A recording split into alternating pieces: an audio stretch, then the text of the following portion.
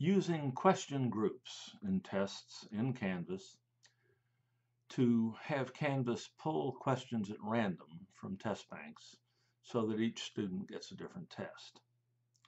We'll just go ahead and make a quiz here, the usual way. We'll call it sample quiz. And uh, we'll go right to selecting questions. Now we know that we can create new questions in a test by typing them in or copying and pasting them from some other source.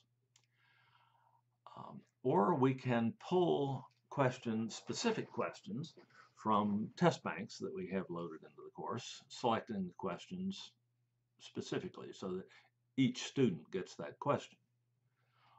Or, as we're going to illustrate in this video, we can have Canvas pull questions at random from selected test banks um, by using the question groups. So we'll create a question group by clicking on that button. We have to name the group. It doesn't really matter what we name it. Um, we're going to then need to link this group to a question bank. Note the individual article there, a question bank. Each group is associated with one question bank in Canvas. In Blackboard, you could associate a question set with more than one test bank, but you can't do that here. So you have to make a separate question group for each question bank that you want to use, which is no problem because you can make as many question groups in a test as you like. So let's pick a question bank. When we do that, it will show us uh, the question banks in our course. I'll just pick this one, which as I'll note has seven questions, and I'll select bank. So now Canvas is going to pull from that uh, uh, question bank and it's going to pick the number of questions for each student that we tell it to. There were seven questions in there, so I could do three or four of them. Um, we certainly don't want to select them all, or there'd be no point in making a question group and having Canvas select questions at random. It's going to pull them all anyway. Everybody's going to get the same questions. But if we pick only four or seven, uh, that's a reasonable uh, gives us a reasonable bit of leeway so that no two students are likely to get the same exact set of questions, at least not too often. And they'll never know that they have done. And of course, we can set the number of points per question. And we've got it linked. We've uh, put in the numbers we need to. Now we just create the group.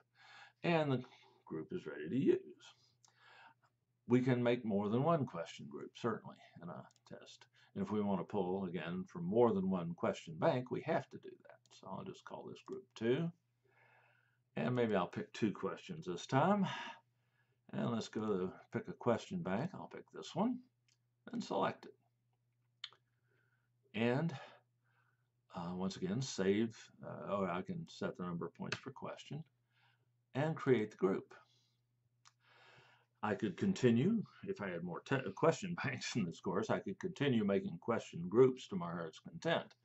So you can, um, and you can uh, reorder the question groups in the test if you wish, so that questions from a particular test bank will appear uh, at a certain point relative to other questions in the test if you wish or if you care.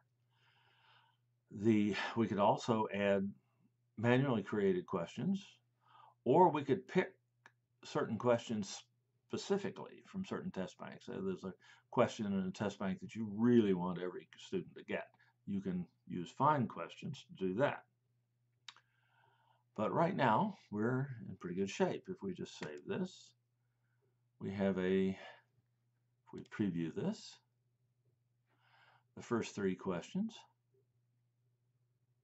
are coming from the first question bank, and they have been randomly selected.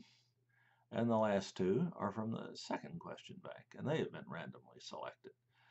Each student, again, should get a significantly different test from anybody else. There'll be some overlap, of course, but by and large, it will be quite random. And that's how to use question groups in Canvas.